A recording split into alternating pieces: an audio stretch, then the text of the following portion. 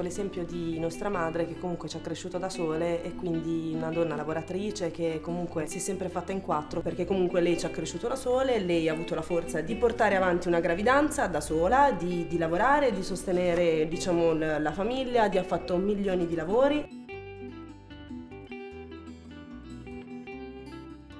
Noi con nostra mamma abbiamo un rapporto molto amichevole, cioè noi siamo, è come un po' uno scambio di ruoli, è una convivenza di tre donne, diciamo così, quindi noi siamo mamma, figlia, sorella e amica.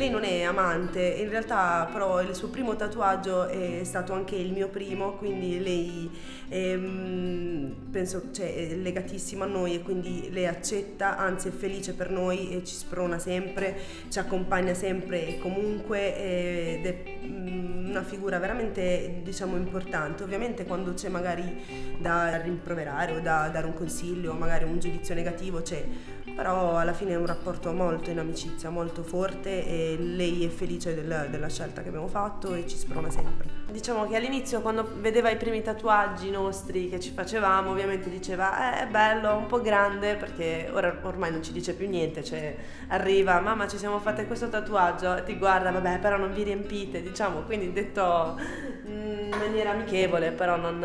Cioè, alla in fine... maniera rassegnata più che altro. in maniera rassegnata.